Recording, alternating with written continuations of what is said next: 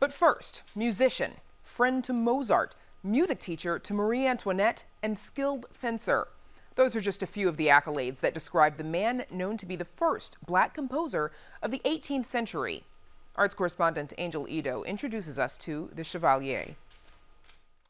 After all, you are an immigrant just like me. Meet Joseph Boulanger, Chevalier de Saint George. Well, not the real him, of course. Who are they? I could hear you asking it. Well, the king has created a new force, La Police de Noir. He's said to be the first black French composer of the 18th century. His life and legacy are now being highlighted in a new production titled The Chevalier.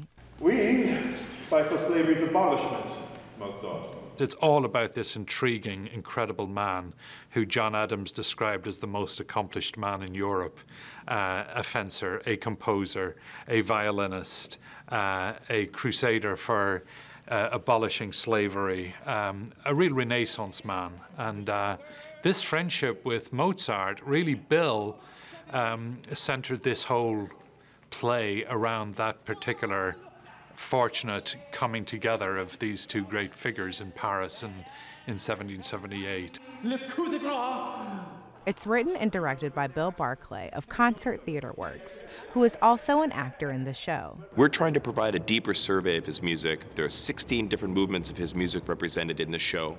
And there's also his life, his psychology, his sense of humor, his relationship to fencing, how he was knighted, his relationship to all these other characters who are much more famous than he, to try to lift up this man's biography in our understanding, replace him where he belongs in our music history, and honor him. No single person can be him. That's why we have two performers playing him in this show. We have an actor and we have a violinist. There isn't anyone on planet Earth who could be the Chevalier of Saint George.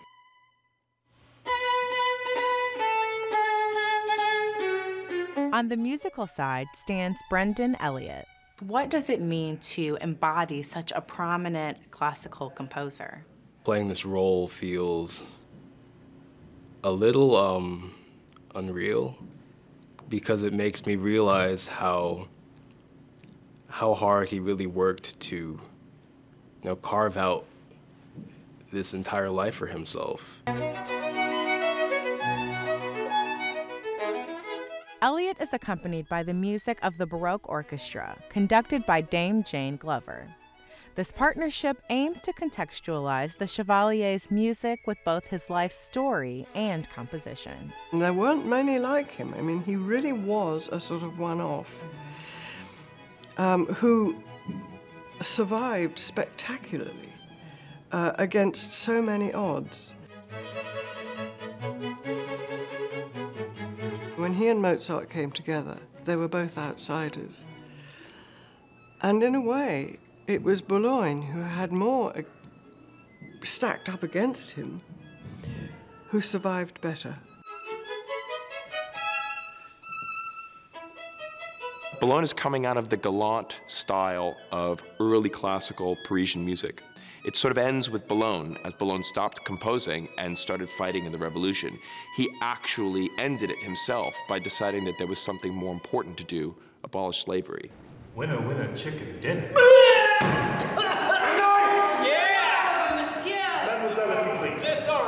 On the acting side stands R.J. Foster.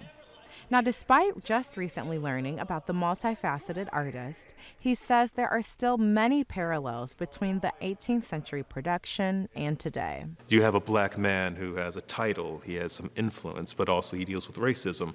And it's in a different sort of way than which we deal with here, but it's also mirrors it in the same sort of way. Culture is a social lubricant. It kind of helps to tell stories that are relatable to people. We fight for slavery's abolishment, Wolfgang. That is why my address must stay strictly private, understood? For Chicago Tonight, I'm Angel Idowu. And you can see this production of The Chevalier through Sunday. Visit our website for more information.